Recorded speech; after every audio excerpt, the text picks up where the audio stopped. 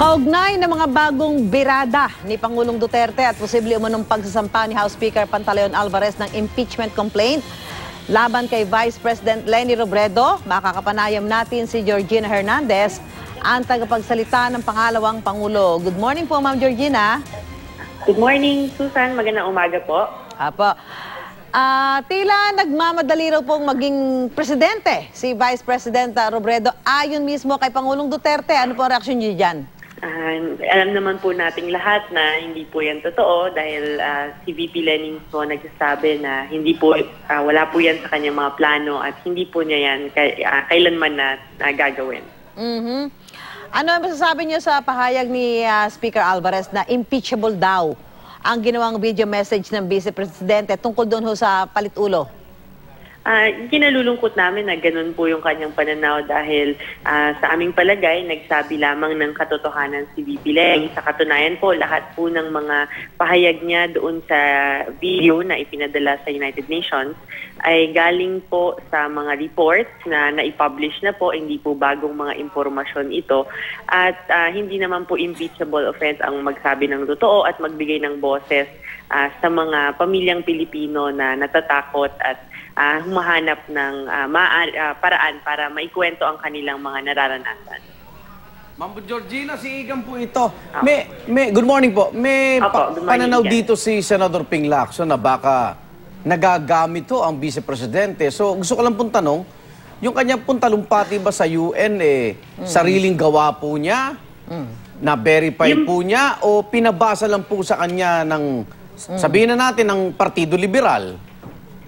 Yung pong ah, video ay ni-request po yan ng mga organizers ng United Nations. Natanggap po namin yung request dyan noon Opo. pang Pebrero at ah, naibigay na namin yun sa organizers bago matapos ang buwan ng Pebrero.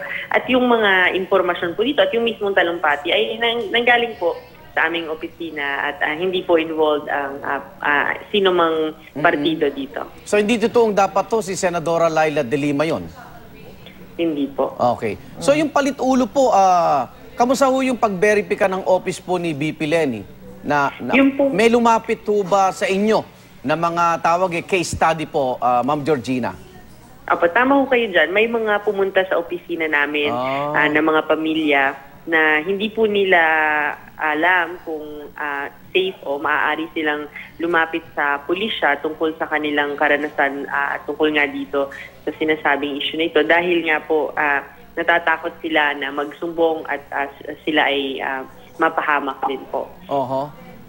Pero yung ano, yung sinasabi ng ilan na parang siniraan pa ng Vice Presidente ang Pilipinas sa sa United Nations, ano po naging reaction ni BP? Ah, hindi naman po matatawag na paninira yon dahil ah, para kay VP Lenny, ah, nagsabi lamang po siya ng totoo at ito po ay galing sa mga first-hand accounts, ah, mga direkta po niyang nakausap na mga pamilyang Pilipino at ito po ay nakikita niyang mandato niya na ipahayag at bigyan ng boses yung mga taong ah, walang boses at walang kapangyarihan. Opo. Sundan ko lang yung tanong ni Susan, yung sa nagmamadali po, ano? Kasi nabanggit na rin po ni Speaker Alvarez na baka raw ho magkabilangan na ng boto at ah, malamang daw ho eh talo daw po si BP Robredo. Handa na po ba si BP sa mga ganito pong mga development, ah, Ma'am Georgina?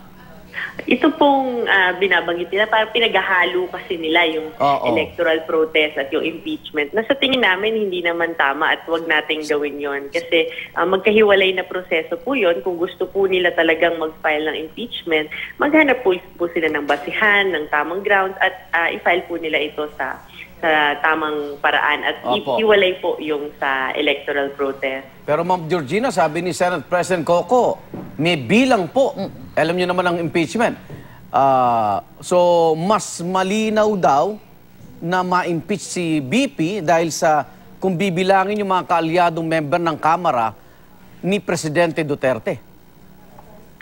nakakalungkot lang na nauuwi lahat sa sa bilang, nauuwi lahat sa pananakot. Ah, pag tuwing mayroong isang leader o isang tao na hindi po na sumasang-ayon sa administrasyon o nagsasabi ng isang bagay na hindi po nila nagugustuhan. Sana po sa huli ay mauwi pa rin sa prinsipyo at sa katotohanan, yung magiging boto at magiging desisyon ng ating mga ah, congressman at congresswoman at ng mga senador. Okay, maraming kung magkakaroon man nga. Kung Ah, magkakaroon man nga. Kasi Opo. ngayon wala pa naman Wala po pa. talaga.